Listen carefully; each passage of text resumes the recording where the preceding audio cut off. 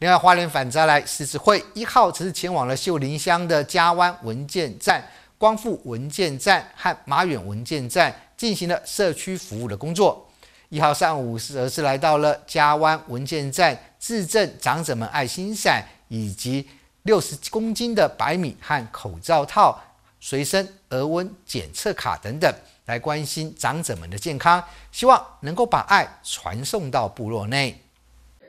花莲防灾来指会延续原住民地区社区服务的工作，一号则是前往秀林乡嘉湾文件站、光武乡光复文件站和万隆乡马园文件站来支赠长者们爱心伞、六十公斤的白米、口罩套以及随身型的额温检测卡。我们这个三零五六七呢，给我们这个所有的师傅会呢一个很棒的一个功课，就是我们的五大事业，就是最最最最重要的一个。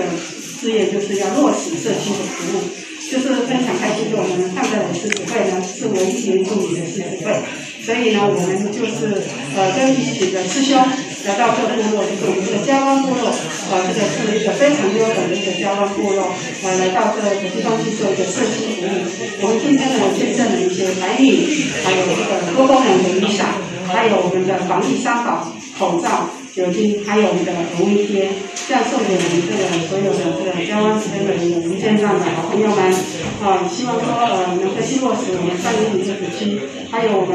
呃放下来呃狮子会呃师兄师姐的一些共同的一些爱心理念，来落实到各个部落。呃，这是我们呃今天所有的行程之一。今天就是嘉湾，等一下我们还要到光复，还要到呃麻园啊这个地方。我们今天跑三个文件站。协会理事长参与下，则是感谢范再来狮子会关怀长者们的健康，也自赠六十公斤的白米提供给大家使用，让部落长者们是相当的开心。同时，大家也用泰鲁格族语的热情欢呼来感谢狮子会的爱心。记者江毅选项到。